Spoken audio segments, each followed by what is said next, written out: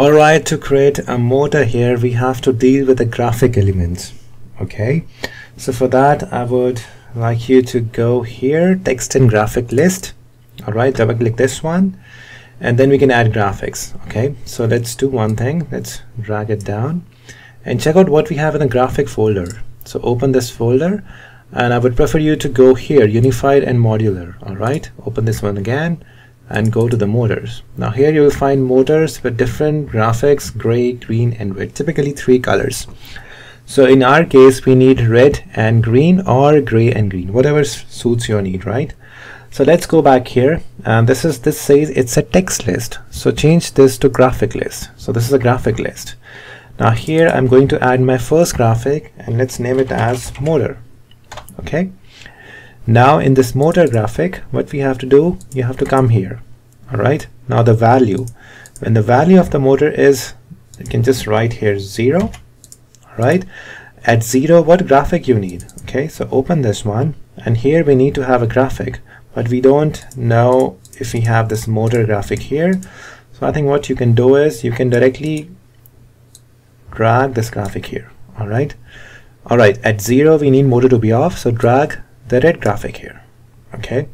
So we need at 1 this should be green. So double click here again you will automatically have one here. And this graphic is not here. We suppose the graphic list is not here but I guess you will get one because we selected two we selected this before because this is the quick list which you will get once you select one graphic so select graphic one if you don't get your graphic in this list you can directly drag it here alright that's the best way so at 0 this is red, at 1 this is green. But what is the tag of that? We'll come to that later.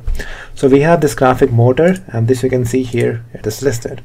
Okay, so go back to your screen 0 and now if you don't see the graphic list here you again have to just go here, go to your graphic, just click copy and go back to your screen 0 and click paste. Okay, wait, this is not the way. Let's go back to graphic list. And you have to select this whole.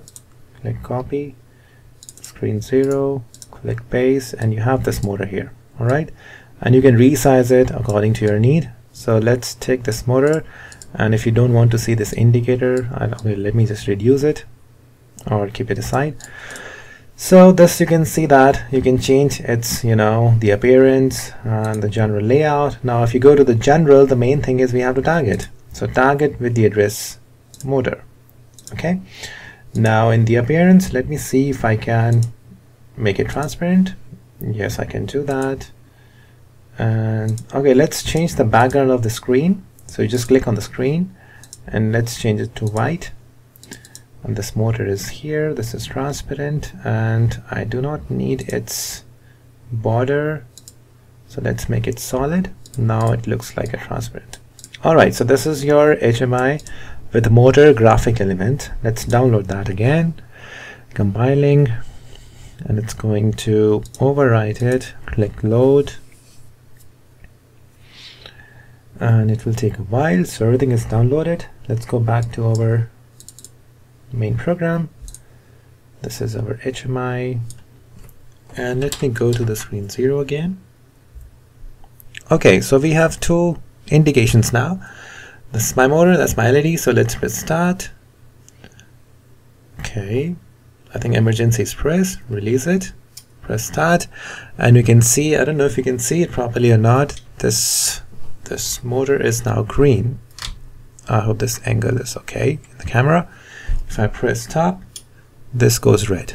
All right, this color may not be, you know, this may not be true to your eyes because of the camera resolution, but I hope you understand there's a change in color which comes when you change the graphics. All right, this is actually changing the graphic behind the, you know, behind the screen. This is stop, this is start, again, emergency, release, this is start, stop. All right. I hope this is interesting. Now you can have an idea that with this graphic, you can add so many things in this HMI. All right. You can add a graphic of motor. You can add a graphic of pump or a heater. So if you if you navigate to this graphic element again, and go back to here,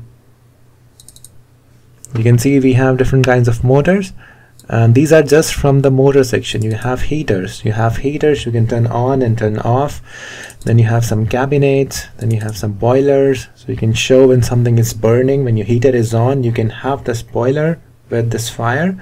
If heater is off you can just show this boiler like that. Okay?